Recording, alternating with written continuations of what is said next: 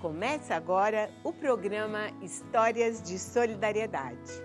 Hoje vamos até Aparecida, no interior de São Paulo, para conhecer um grupo muito animado do curso de capacitação do projeto Padaria Artesanal. O primeiro grupo se formou no ano passado. Hoje, Cada turma tem 20 alunos e muitas histórias. Histórias como a de Teresa, que após o curso pensa em incrementar o cardápio de sua pastelaria. Já Wellington sonha em conseguir uma vaga no mercado de trabalho.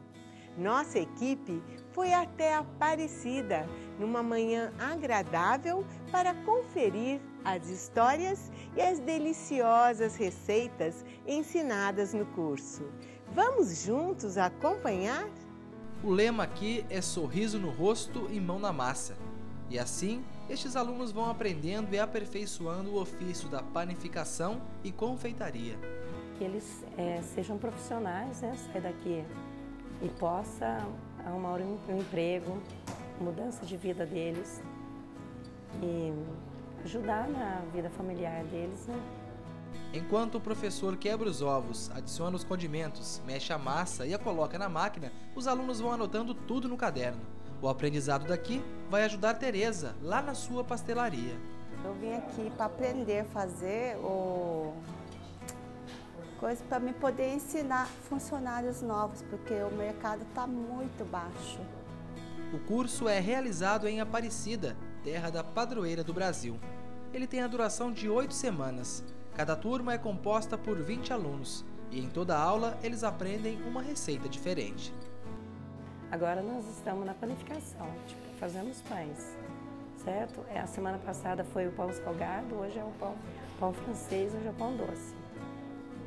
Geralmente, os alunos que procuram o curso não têm experiência na cozinha, e o que leva mais tempo para eles aprenderem é o manuseio das máquinas.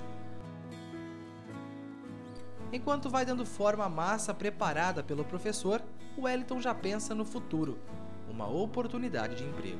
O mercado de trabalho hoje em dia está né, tá muito pequeno e quanto mais a gente puder abranger com nossos conhecimentos, para nós melhor nos capacitar cada vez mais, né? Para Teresa, o curso vai servir como inovação do cardápio de seu estabelecimento. Sim, porque eu também quero assim desenvolver salgados novos no meu estabelecimento. Durante o curso, os alunos aprendem a fazer pães, bolos e salgados. Quando é perguntado ao Wellington se existe dificuldade no aprendizado, não tem muita dificuldade não. Quando a gente quer né, alguma coisa na vida, né, a gente corre atrás e consegue, né?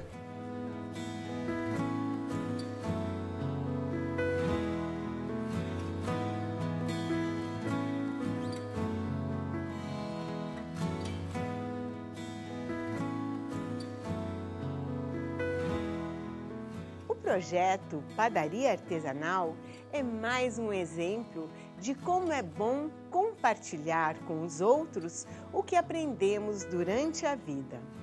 Um professor é aquele que ajuda a esculpir nas almas as mais belas lições de sabedoria. Como é bom saber que você gosta do nosso programa continue nos escrevendo e mandando sugestões para nós. Anote os endereços que estão passando na tela. Eu encerro o nosso programa de hoje com uma reflexão.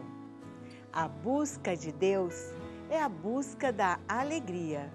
O encontro com Deus é a própria alegria. Nós ficamos por aqui.